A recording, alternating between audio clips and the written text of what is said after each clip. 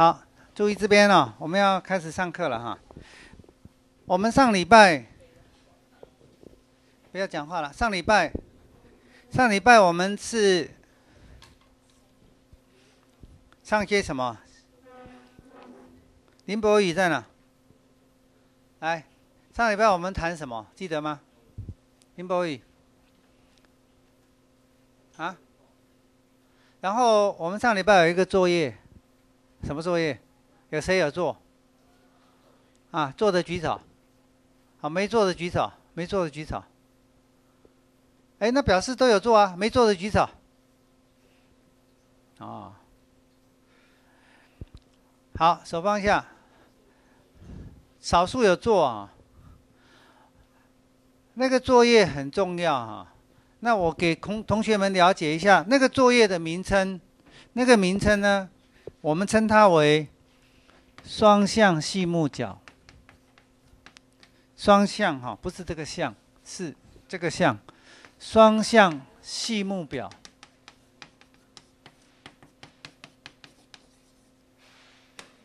双向细目表。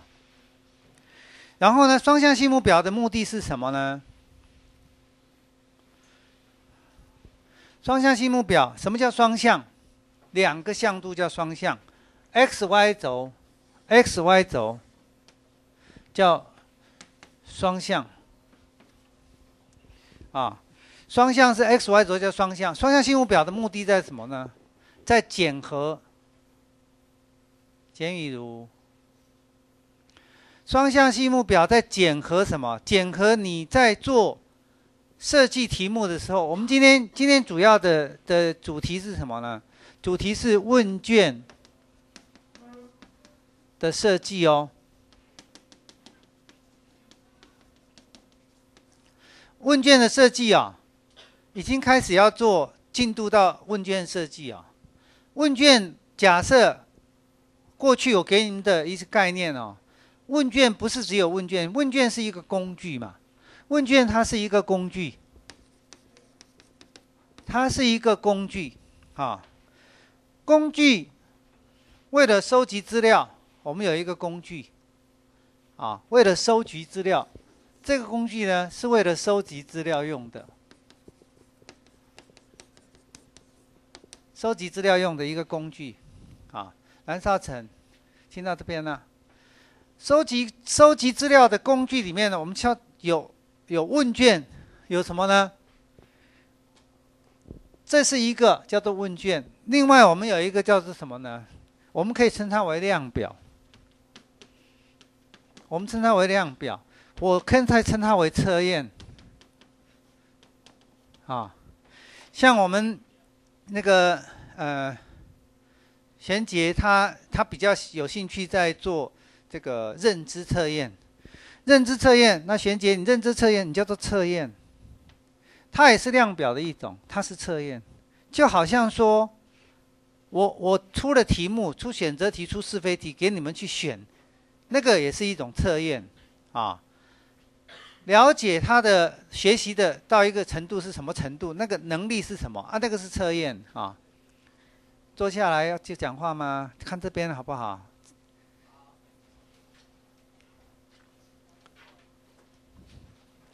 好，那这个问卷今天讲问卷测验的时候呢，很重要的概念就是我们讲的双向细目表，啊。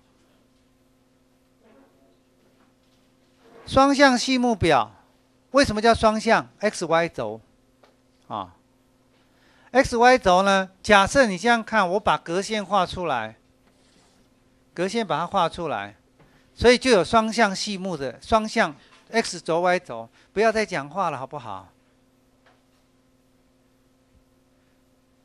这很重要的概念呢。双向 x 轴跟 y 轴。我上礼拜给你们的作业里面呢，特别提到一件事啊，特别提到一件事，那个是要你们去照你们的，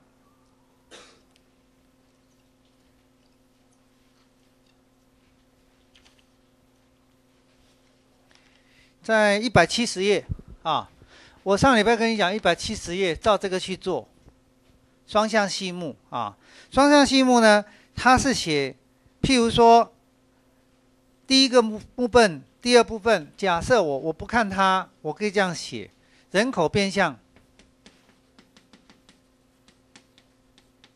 人口变相是一个部分。人口变相呢，譬如说，这有一个题题号，第几号到第几号，然后呢，可以有题数。这是双向，告诉你，在这一个因素里面，我们叫做构面因素。共面因素，好，共面因素里面叫做人口变相。如果如果说我要问的是什么？我要问的是年龄、教育程度，然后收入，再来是。呃，家庭状况、经济状况，四个，那我可能是一到四题，总共题数是四个，假设是这样子嘛，哈。那或许说，我第二个，像以这个题目来讲，它叫做什么？企业目标，啊，我们讲企业目标，假设在这个来讲，企业目标，企业目标呢，这是譬如说五到十五到二十题。那总共有多少呢？总共有十十六题，啊，总共题数有十六题。那也许我们假设我们叫做忠诚度，假设了哈，忠诚度，也许呢是在二十一到二十，譬如说三十题，总共十题。好，这是题目总共题目的双向性目表。那当然还有更详细的双向性目表。我举个例说，我们知道学习语言的话呢，学习语言有谁知道学习语言分大四四大部分？学中文、学英文、学其他各种语言，分四大部分，谁知道哪哪四大部分？啊，谁知道？黄志浩来了没？没有。赖军校在哪？没有。赖锦呃，建锦龙没有。张子欣、李宏伟，好来。英学语文的话，有四大部分，你认为哪四大部分？你知道吗？李宏伟，我在跟你讲的时候，就已经包括四大部分了，不，已包括呃。两部分了，有吗？有哈。然后以黑板为主，你知道吗？哈，我们在在录的时候以黑板为主。我跟你讲的时候有什么？对吗？听说吗？听跟说两大部分嘛。然后还有什么？读写嘛，哈。假设这种概念的话呢，我们这是一个提速哦，提速是一个方向性目标。那如果现在呢？我们把它扩大，扩大变成说听说读写双向性目标。那我我如果说现在是英文，我听是一个部分，听是一个部分哈，然后说又是一个部分。好然后读是一个部分，这个呢，我们通通叫做它的构面因素，因素构面。啊，因素构面，这个呢叫做 dimension，叫做 dimension，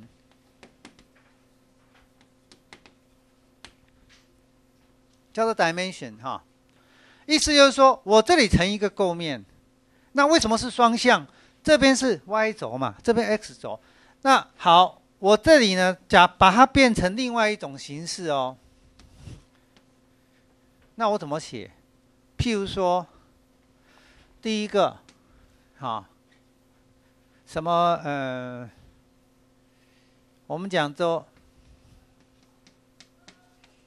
buying things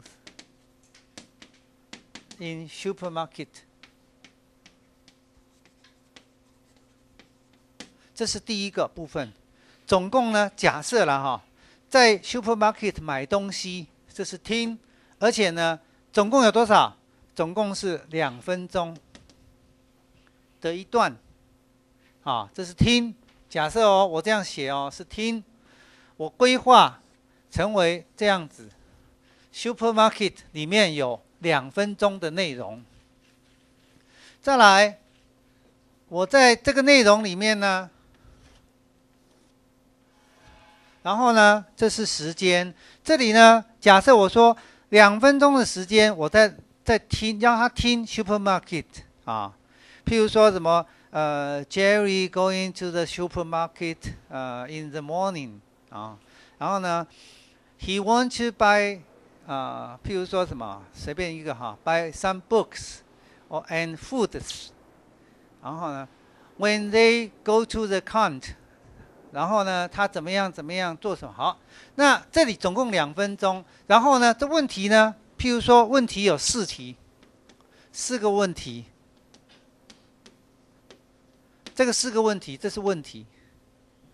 啊，When did Jerry go to supermarket？这是一个问题，对不对？好，听了完以后说啊，他什么时候去的？What did he buy？啊，他买什么东西？四题问题。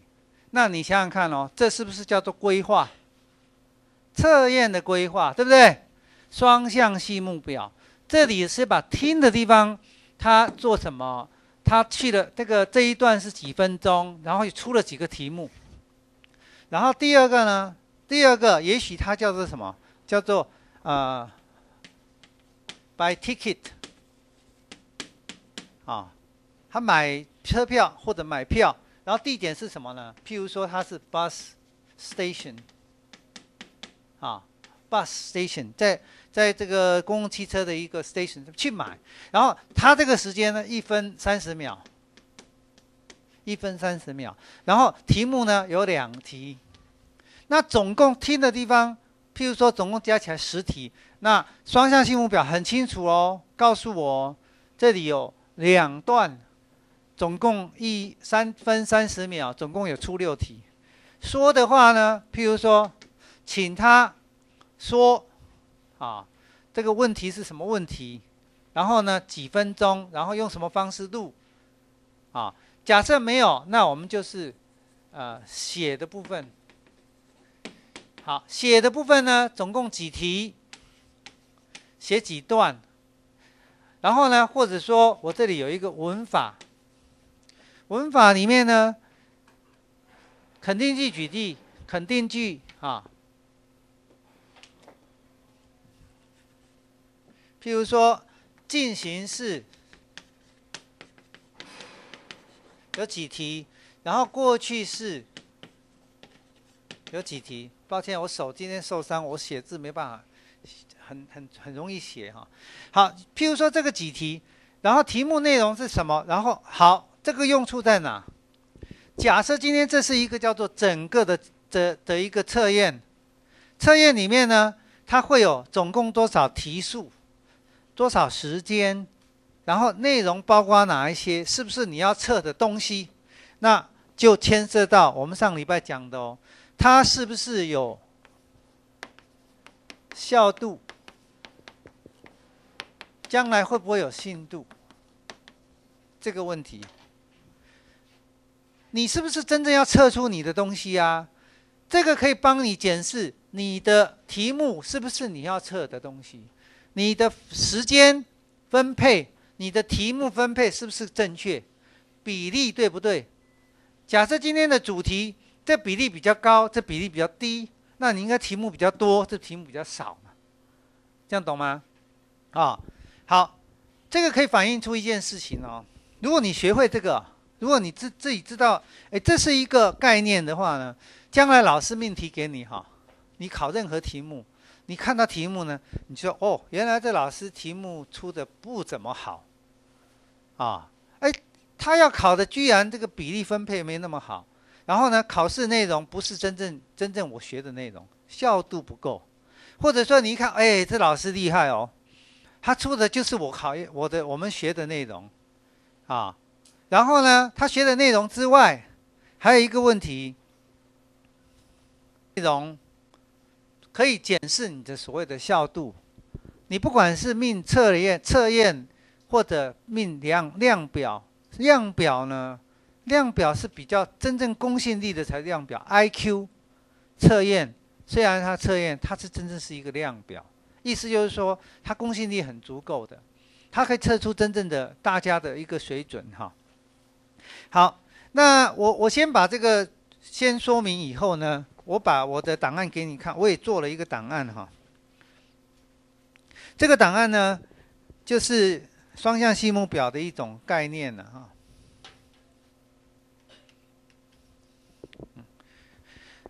上礼拜一百七十页作业其实要做这个东西，也就是后续我要做的的题目了哈，要你们要做的题目了哈。好，那如果还没有开始的时候，我先把把这个地方擦掉，我用我的图给你们看哈。我我我用我的档档案给你看啊，嗯，上礼拜啊，上礼拜不是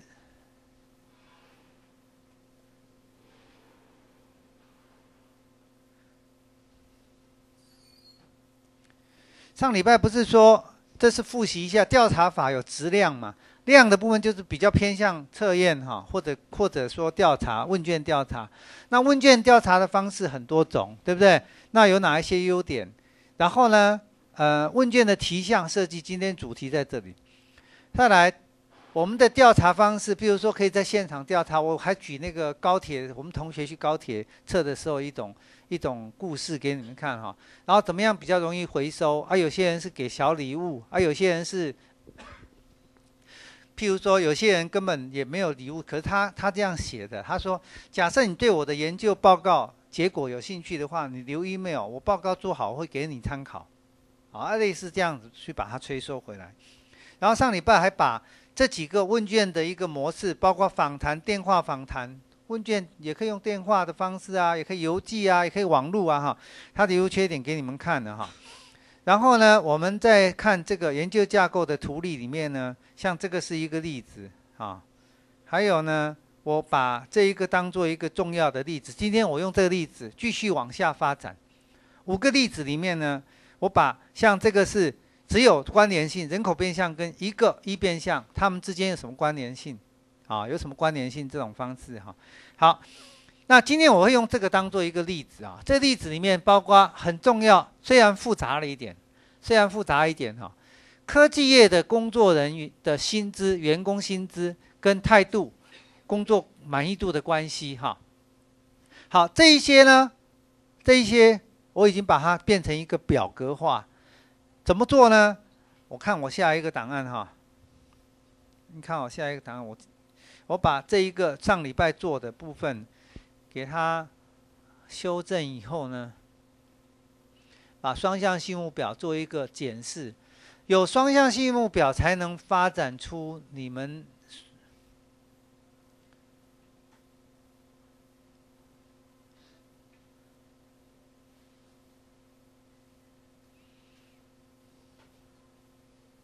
我档案太多了哈，要要调一下。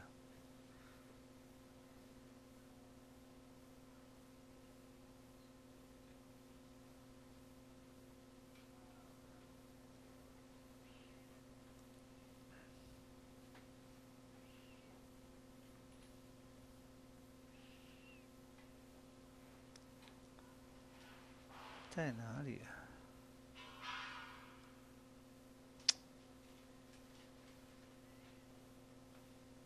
抱歉了，等一下啊，我查一下。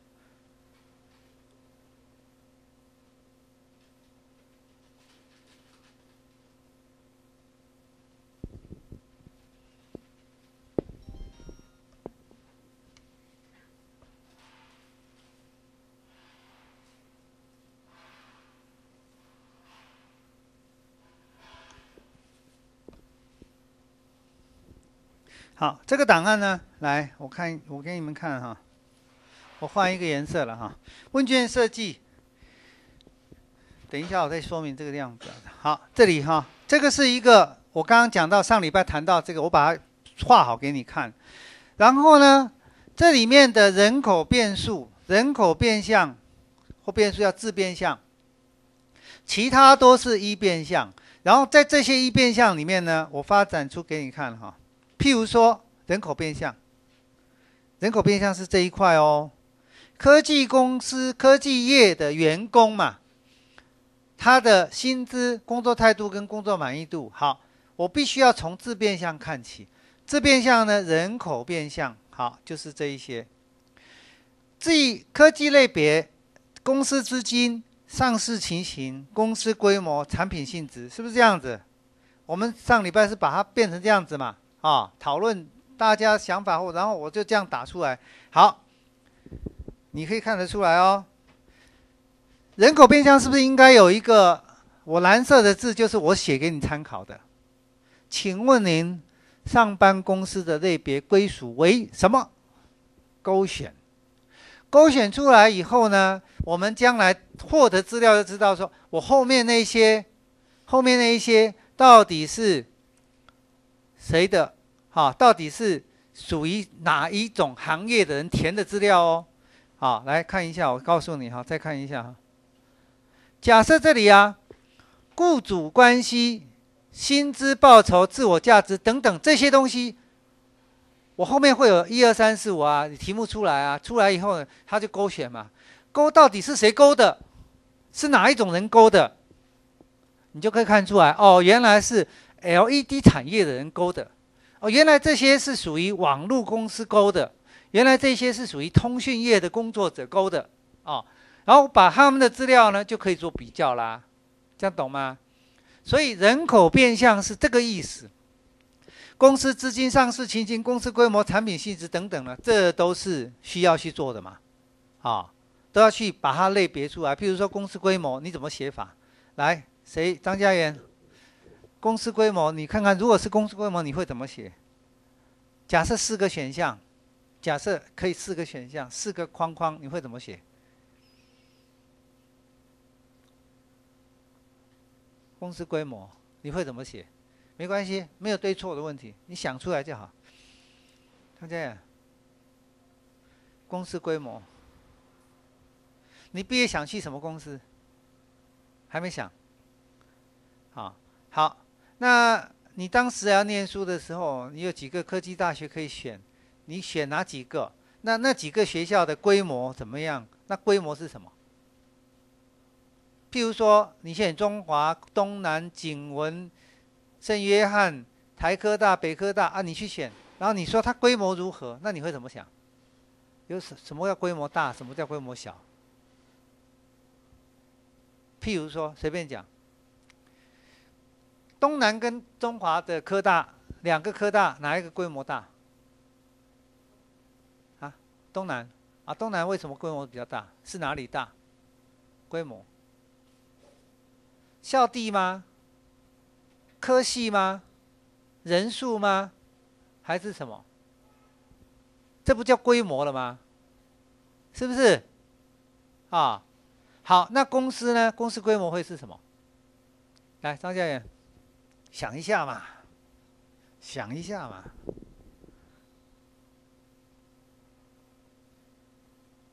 黄世敏，你帮他答一下，规模是什么？你刚刚要叫告诉他了，你答案告诉大家。啊？对，大小大小有很多种比较方法。什么叫大？什么叫小啊？譬如说，员工数对不对？员工数也是规模嘛，对不对？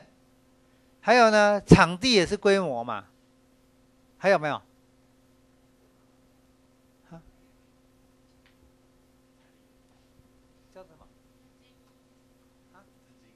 资金也是规模嘛，哈，好，公司资金，如果说公司资金跟公司规模，你把资金放在规模里面，那你资金就不要列啊，可以啊，这样知道吗？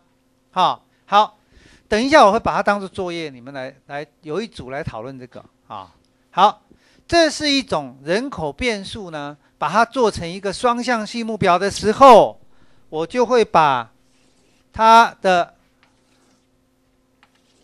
列出来喽，好，列出来什么？一个好，好像这样子的一个概念呢。雇主关系几题，然后呢，薪资报酬几题，题号是几号到几号？啊也许是这样概念嘛。啊，好，那这是第一个叫做人口变相。人口变相呢，我们没有所谓的比较比较不容易去用分别呃强度如何了哈？强度如何？大概都是一项一项单项去选。等一下我会说明这个概念，这个这个量子分类概念，这个是这种概念。量子分类我会说明哈，我现在还先不讲这量子分类。好，第这是第一种概念，第二概念呢，我把这个把它列出来，其中一项不是这样子吗？不是这样子吗？对不对？呃，工资、薪资、工作态度、工作满意度的关系吗？好，这里面呢，我把第二个工作满意度抽出来。工作满意度也要有一个双向细目表啊，因素过面双向细目表。抱歉啊，打字打错了哈，我把它改一下。